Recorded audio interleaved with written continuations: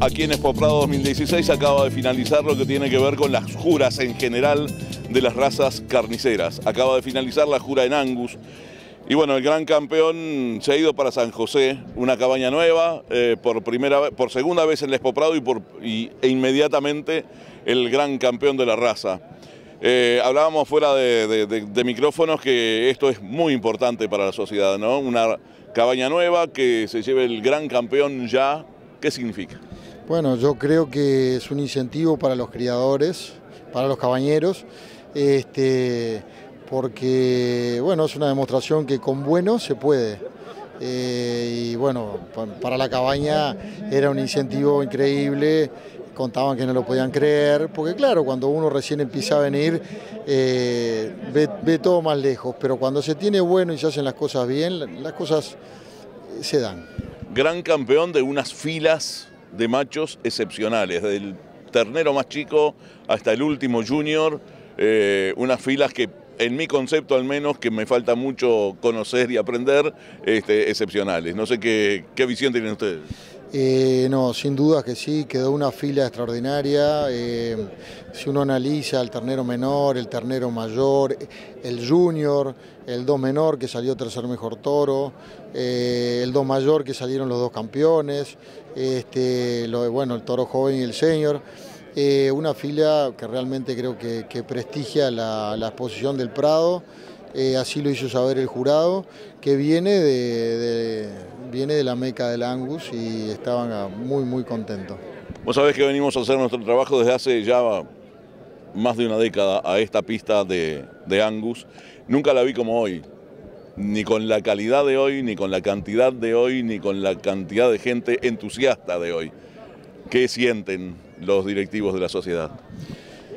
Bueno, de alguna manera es confirmar que, las directivas anteriores, porque esta es muy reciente, han hecho las cosas muy bien. Este, y es bueno, es bueno para la raza porque eh, que, tú digas eso, que hace mucho que venís y que has visto la evolución, eh, yo creo que, es fantástico.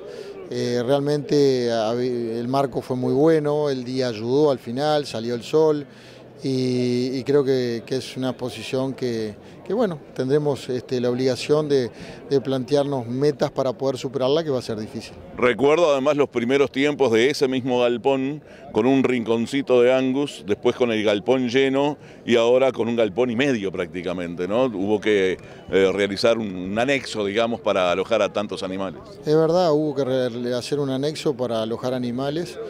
Este, bueno, sabemos de que hubo un inconveniente con un galpón de la rural y una de las opciones era prorratear, cosa que nosotros no queríamos, así que hicimos un esfuerzo y este, colaboramos con la rural y se alquiló una carpa para 21 animales más y bueno, salió la exposición que salió. Un comentario mío adicional, muchas veces la cantidad no quiere decir calidad, pero en este caso la calidad era muy compacta, muy uniforme, ¿no? Sí, este, es cierto, cantidad no También en las hembras. Sí, sí, sí, la hembra fue extraordinario. Cantidad no es calidad, pero cuando hay cantidad es más fácil de conseguir calidad. Además, este, se ha vuelto una exposición muy, muy competitiva los cabañeros que vienen son profesionales, ya no pasa de que, de que hay diferencia de preparación entre el, entre el primero y el último. Este, las diferencias son, son detalles y pequeños. ¿Cómo es el futuro hacia adelante, la raza? Yo lo veo muy bien, creo que la raza está consolidada hace tiempo, pero creo que está trabajando bien, este, sin pausas, eh, sin mucho ruido. Este, estamos en una relación muy buena con el IñA eh, y bueno, vuelvo a destacar el trabajo de las directivas anteriores que, de alguna manera han conseguido que esto suceda. Bueno, muchas gracias por dejarnos trabajar cómodamente, por organizar debidamente la pista y como siempre a las órdenes. Bueno, yo te agradezco que hagas ese reconocimiento porque para nosotros además de que la esto es un espectáculo. Y, para nosotros que la pista esté ordenada, sea prolija, esté marcada, que haya una persona adentro que ayude a los jurados a que, a que los animales estén en fila, que, que salga todo bien, es muy importante. Y bueno, hicimos lo que pudimos y aparentemente se dio. Quienes hemos entendido el concepto de organizar la pista, nos ponemos a las órdenes para convencer a los colegas periodistas y a los colegas camarógrafos para que sigan ese camino y bueno, que se siga ordenando cada vez más esta pista que como vos decís debe ser un espectáculo, más allá del fondo eh, productivo, ganadero, genético que esto tiene, un espectáculo. Yo creo que sí, que tiene, que tiene la obligación de ser un espectáculo, es un espectáculo y tiene que salir muy bien como la, la organización de un espectáculo. Yo entiendo de que la prensa quiere la primicia, quiere la mejor foto, porque viven de eso.